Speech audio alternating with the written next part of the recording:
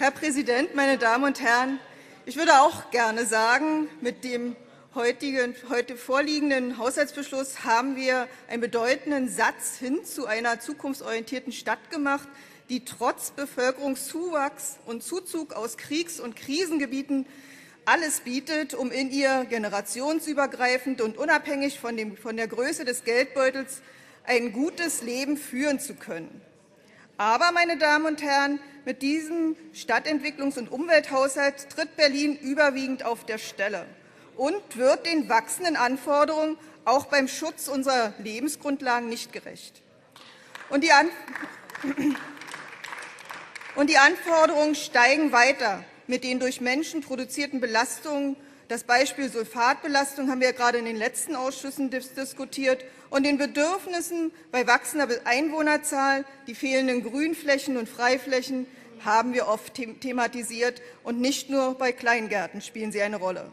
Berlin hat Pläne, Konzepte und Strategien, wie zum Beispiel bei Luftreinhaltung, Lärmminderung, Erhalt der biologischen Vielfalt, Mischwald, jetzt auch, Herr Otto hat es ja schon vorgestellt, ein Energie- und Klimaschutzprogramm, die zunehmend bei ihrer Aufstellung, das begrüßen wir auch sehr, mit Berlinerinnen und Berlinern diskutiert werden. Aber wenn es dann um die Umsetzung geht und um die Entwicklung von konkreten Maßnahmen, dann kommt dieser Senatsbereich Stadtentwicklung und Umwelt ins Stocken. Ein stadtweites Beispiel für Problem erkannt, Analysen erstellt, Maßnahmen mit Betroffenen diskutiert, Ende gut, nein, gähnende Lehre, ist der Umgang mit den hohen Grundwasserständen in Teilen der bewohnten Stadt. Etwas besser geht es der Strategie Stadtlandschaft. Hier gibt es immerhin für, für bestimmte Maßnahmen 3,4 Millionen Euro. Wir hatten zum Beispiel für die Einrichtung von Naturerfahrungsräumen mehr gefordert.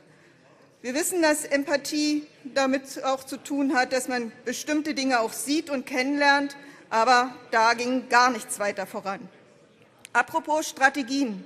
Ist es jetzt Strategie des Senates, auf Gerichtsurteile zu warten, ehe festgestellt notwendige Maßnahmen eingeleitet werden, wie im Fall der Anwohner der Berliner Allee, die auf Einhaltung der Grenzwerte bei Belastung mit Luftschadstoffen geklagt haben? Es ist nicht clever, erst zu warten mit Maßnahmen, denn Gerichtsverfahren kosten auch Haushaltsgeld. Meine Damen und Herren, im nächsten Jahr jährt sich der Beschluss des Abgeordnetenhauses zur Berliner lokalen Agenda 21 zum zehnten Mal. Wichtige Initiativen aus diesem Prozess zur Einhaltung von Sozialem, Ökologie und Wirtschaft werden mit dem vorliegenden Haushalt nicht mehr gefördert. Die Aufgaben bleiben also liegen oder rutschen ins bürgerschaftliche Engagement. Das kann man positiv finden oder eben auch nicht. Gleichzeitig werden aber der Titel Zuschüsse für Investitionen für umweltpädagogische Einrichtungen gestrichen. Kein Bedarf, das sehen wir anders. Welche Auswirkungen in der Stadtgesellschaft die Kapitalrückführung von 3 Millionen Euro von der Stiftung Naturschutz Berlin hat, ohne eine von uns geforderte langfristige Sicherung der Arbeitsfähigkeit im Haushalt zu vermerken, will heute aus der Koalition niemand hinterfragen. Die BSR soll in den nächsten zwei Jahren 14,6 Millionen Euro an den Landeshaushalt abführen. Diese Gelder, überwiegend von Steuergebühren und Ähnlichem, können dann nicht in umweltfreundliche und stadtverträgliche Technik investiert werden. Kurzum, Berlin macht Schrittchen, und die Richtung ist unklar.